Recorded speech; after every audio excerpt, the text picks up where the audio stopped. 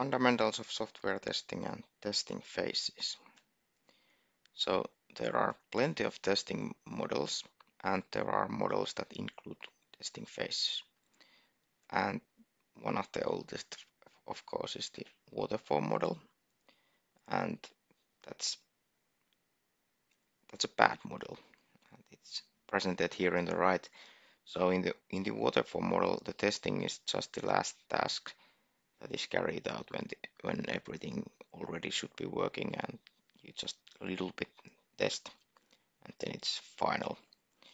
And that's uh, the waterfall model does not reflect the software engineering business and it has never never been reflecting it very very well. Then there is V model which is improved from the waterfall model. It's much better. Then there is RUP for example, and uh, of course there are plenty of agile testing models.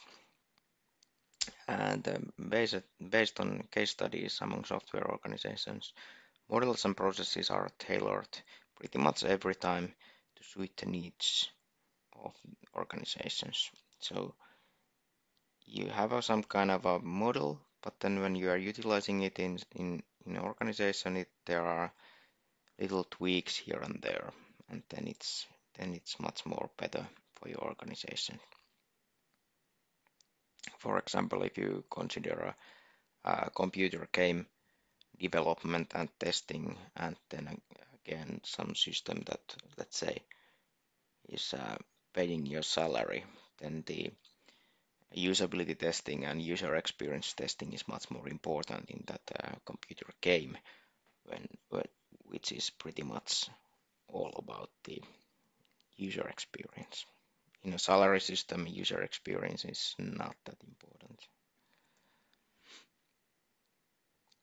And so some parts are emphasized and some are eased in different uh, different cases. Um, the V model of software engineering. So this is my my version of V model. There are some some additional boxes, but the V model it basically the software starts from idea then we have some kind of a business model talks tale and then then continue to requirement analysis system design architecture design and the actual development. So these steps steps are are known also from the waterfall model. And then there is this testing part which is then then uh, enlarged to have first unit testing, which is done by the developer. It's the lowest level. Then comes integration testing, where we check that the integrations work as they are planned in architect architecture design. Then system design, uh, system testing reflects the system design and a bit, of course, for the requirement analysis. And then customer is doing acceptance testing, which is mirrored to requirement analysis and business model. Uh, acceptance testing can have, for example, usability testing or accessibility testing and business model validation. The left part here is the building part where we are building the software and the right part, part is where we are testing it. And these three, they are just examples. Acceptance, testing can have a different parts. It depends on what you're testing and these can also be included in system testing. It depends on what kind of a software is, is this case. And of course, you need to note that uh, this presented model is nothing but perfect. It's a V model, it's, it's old. And even though it's better than waterfall model, it still doesn't reflect the real life that well. Uh, so there were some some testing levels. So unit testing, the lowest level of testing, and the task is to make sure that the coding itself does not have mistakes. And it's usually carried out by the developer itself. He can run unit testing to make sure that the unit is, is working. So as I said, it can be automated. He can run out the test so the tests are written and just run, run and then, then it's giving you the results, but more of that later parts. So what is a unit? Uh, for example, in object-oriented programming, a class can be considered as a unit. So you are writing classes and for every classes you are doing unit testing. Uh, so to test the unit, one basically needs the access to the source code. But of course, when it's automated, it really doesn't uh, matter. And the unit tests are run in the test environment so we are not using any production environment or the environment uh, provided by the customer if, if, that's the case. And uh, when you are doing unit testing not all APIs are available and some might be just test stubs or mockup APIs that uh, reflect some kind of a, a answers to the API calls, but they are just fakes. But that is necessary when, when the whole program is not written completely and you need to test your, your unit. So you need to have some kind of a mockups. Uh, in test-driven development, TDD, uh, unit tests are written before the code itself, but more of that later. So after unit testing, it, there comes integration testing. And uh, uh, before that, the unit testing has to be accepted uh, so that the units are, are, are ready. So uh, those modules that have been unit tested are grouped and tested to work together. So although any individual Unix unit can be uh, considered as ready and working flawlessly. When you are putting them together, there, there might be some communication pro, uh, problems with those units. So that is why we are doing integration testing.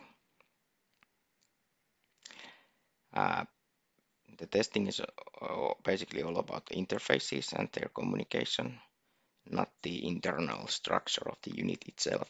The internal structure is tested in unit testing. And uh, usually individual units are probably developed by different programmers. If the project is any bigger than one man project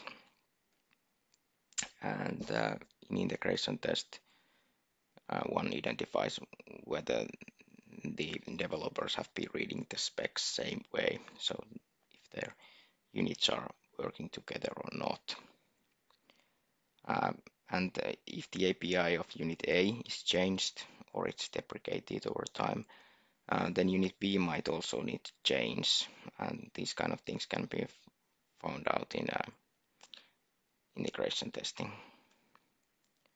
And also integration testing can be somewhat automated. How we do the integration?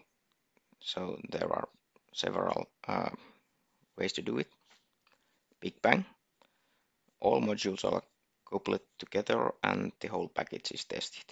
So this is uh, pretty simple. You just put everything uh, in the same system and test whether it works or not. So it, it works well when the system is small, let's say uh, one month of the development time or something like that.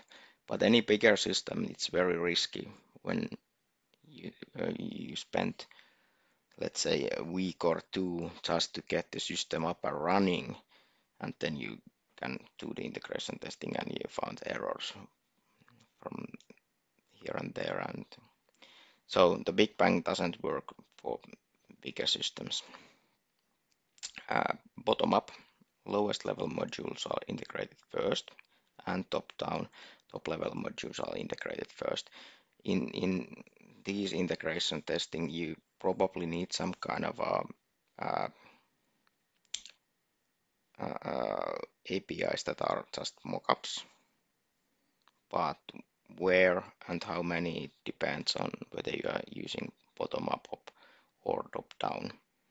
And there is missing one letter. Hmm. Uh, sandwiches combines these uh, two methods. And then there is the uh, idea that let's integrate the most risky one first. So if you have a, a system that has a, some very, very uh, important part and it's risky that it if it doesn't work, the whole program is not working, then that might be the first case to test the integration. And then we can also have this philosophy of integrate what we can. and when time has run out, then of course you just try to integrate what you can. After integration testing comes system testing. And uh, in system testing, the software is basically ready and it's tested against its design and requirements. And the aim is to answer the question, does it work as it was supposed to? And this, it's the first phase where software actually can be tested as a whole. It's, it's a fully, almost fully functioning product that can be tested. Uh, is, the usability okay? Is performance acceptable? These kind of things can be tested. And it's uh, it's still done in the testing environment by the developing organization. It's basically internal acceptance, acceptance testing, so the developers are testing it and after that it can be given to customer. And the customer is then doing the acceptance testing. So is the software ready to be used by the customer? And it's uh, it's usually uh, done by the customer. It should it definitely should be done by the customer, and it's uh, customers running the programming. It's testing it and uh, also inspecting things, and it's with real data in the system, and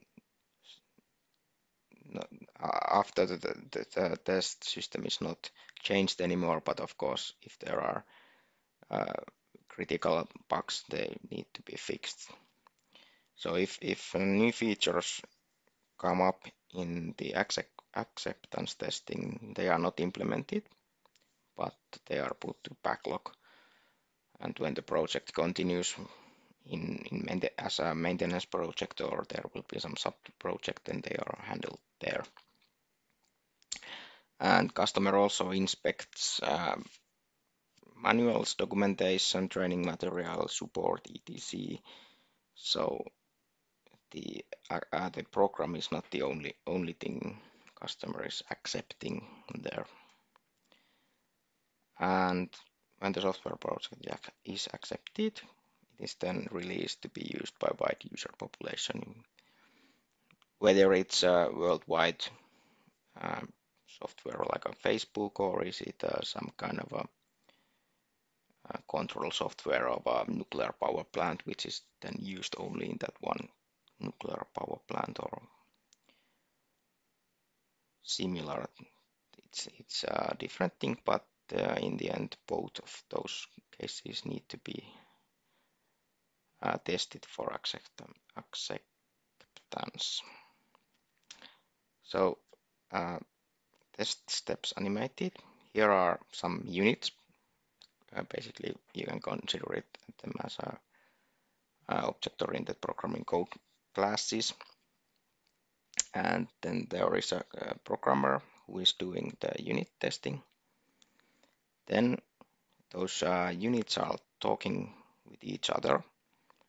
And uh, then there is a NATO tester who is doing the integration testing to see that whether those uh, units are talking as they are supposed to, same language. And then, then there is a system tester, uh, and uh, we have some kind of a user interface where uh, it can be tested, the whole system can be tested whether it's okay or not. And then finally there is a customer that who is doing um, acceptance testing. So he or she tests the system through user interface, but also checks the manual and documentation, etc. So that was something that we have had in vModel.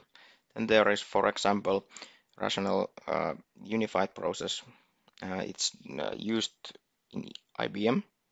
This is a, a lot heavier, uh, not suitable for small projects, but uh, for some project it's it's uh, very good process.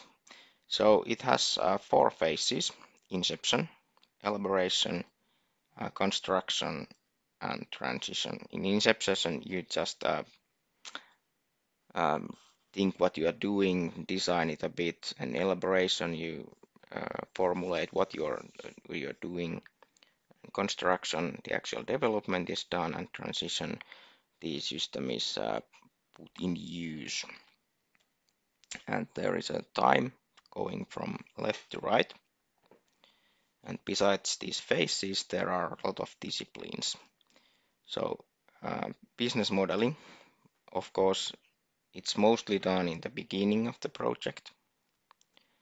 And requirements, which are then all, also mostly done in the uh, first part of the project, second part of the project, but it continues here also until the end of the project. It's it's not uh, stopping in the beginning.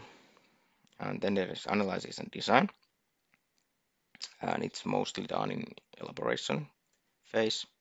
Then the actual implementation, which is done pretty much in the con construction, but also already started in elaboration and it continues uh, to transition phase. Uh, then there is a testing discipline and the, this testing is done here and there several times. Uh, deployment, where the software is uh, deployed to customer premises or wherever it's, it's deployed. It's mostly done in the end of the construction and transition and then in transition phase. And these uh, six disciplines are considered engineering disciplines, and then there are uh, three more, configuration and change management, which is done during whole the, during the whole project, mostly in, in construction and transition. Uh, project management, which is done through the project in every step, and then there is environment, uh, which is uh, the environment is built in inception and elaboration phase, but also it needs uh, work in construction and transition phases. So as it looks, it's this process it's uh, kind of heavy. So it's if you are building web pages for a uh, for a company that sells uh, socks, then it's probably too heavy process. But if you are building a nuclear power plant or a mm, airport, then this might be a good thing. Um, agile testing. So uh, agile methods have taken over the software development in this this millennium. Not everything can be done by, with agile agile methods, but uh, let's say 90% can be done. Uh, and there are many frameworks utilizing agile ideas and principles and then of course there are also plenty of testing practices to choose from uh, for example you can use acceptance test driven development or just test driven development or continuous integration and the role of customer customer testing is uh, more than just the acceptance testing that was mentioned in the V model. then the customer just tested the project in the end. But in the, uh, for example, if, if we consider Scrum process where we have a product backlog and then we have a sprint backlog, uh, the product back, backlog has have has everything that needs to be built for the project, and the sprint backlog is the task that are going to build for uh, the, for the sprint, and sprint can have let's say it's two week two week length, and so in in sprint you build uh, things in sprint backlog, and in in sprint you are always using those uh, daily daily cycle. So every day you start with a daily meeting and then design what, decide what you're doing. And in the end, you get a working and accepted enhancement of the software. So then those uh, tasks that are taken from product backlog to sprint backlog have been implemented. But where is the testing done? This is a Scrum, uh, Scrum process, but it's not saying any testing. So in real life, there is a testing every day. Developer does the internal testing, and then in the end of, of the sprint, customer can do customer testing. It depends on the company. Some companies do not uh, utilize customer every sprint. Some some utilize them definitely every sprint. It, it depends. Uh, mm, so Scrum itself doesn't dictate how to do, do testing. Um, well, it can utilize test-driven development. More of that later. And uh, agile methods emphasize communication and collaboration with customers. So customer is strongly present in testing tasks. And uh, software enhancement are brought to customer testing only after tester slash reviewer has accepted them. So the developing organization does testing and when it's uh, accepted, then customer needs to also accept the new features. And after customer has accepted, then, then they can be brought to real production. So where is testing done? And it's done here. Uh, everything inside this circle can be tested. So, so the whole uh, whole software project is testable and the everything here is affecting the quality of the end product so there needs to be testing. So testing is not a separate task in any phase but a feature included in the every step of software development. That that's something that is that was not not present in a waterfall model but it's nowadays the de facto norm business idea can be tested against assumed customers and requirement analysis can be validated by the customer. So, and of course the developed classes can be unit tested, etc., etc. And uh, customers role in different models. So we have here V model and then we have the uh, Scrum. So uh, trading Additionally, customer did only the acceptance testing, but in the agile world, uh, customer can test the product even on weekly basis if the sprint length is one week. So this is pretty different whether you are doing only the testing in the end of the project or in every week. The, the agile uh, development cycle is of course it uh, it's much heavier for the customer, but the uh, product quality is, is proven to be better. And if we consider some kind of a, a, software project, how we are getting bugs there and how we are removing them. So bugs start to be discovered soon after the program is being tested. So here is, is the fictional uh, software project that has started, let's say in December and in January already, we have uh, first tests run and there has been bugs found. And the number of bugs keeps increasing. And also here the bugs there are always getting more and more more bugs found. And then the uh, here we do some unit testing and fix fix those bugs and then, then unit testing starts seems to be that okay we we are uh, ready for integration testing and then then to remove those those bugs found there and then we do some system testing and finally we get the customer to test it and customer says that okay these and these these bugs are critical. They need to be fixed and then they are fixed and then we can release the software. But here we release the software we have uh, fixed a lot of bugs but there are still bugs left. Not everything has been fixed. And then the software is released but it, uh, it is it is released and then it's still continued to development. New bugs are being found and they are also being fixed. Uh, all bugs cannot be fixed ever so there are always some some bugs left and in real life there is not just a bug but there are some severity levels such as critical major and minor and uh, probably before release, or at least those critical bugs are fixed. Probably some major ones too, but minor bugs, they can be just cosmetical user interface things or wrong colors, etc. Those, those are not important. But uh, of course, if you have some kind of a critical uh, bug that uh, data is leaked, leaked, then then that needs to be fixed. So, conclusion. So, testing is divided into several phases.